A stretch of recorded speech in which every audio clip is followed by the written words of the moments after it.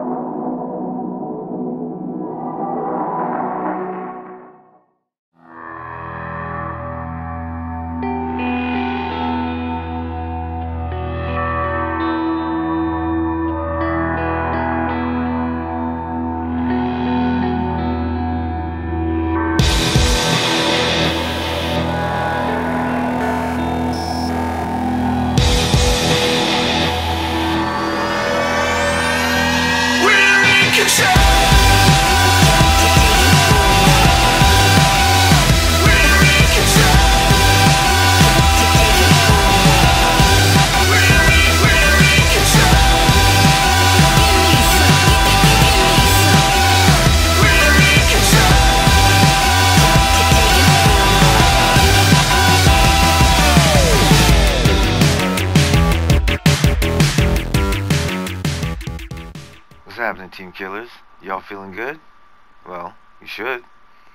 Welcome to another installment of Anthem's Open Demo Fun, where that's all we're doing. We're just having fun. We're checking out the different javelins, seeing what they got to offer.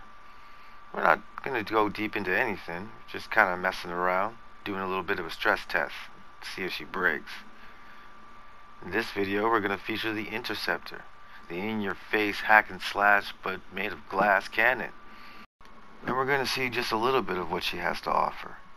Well, like the other videos, this one's going to be short.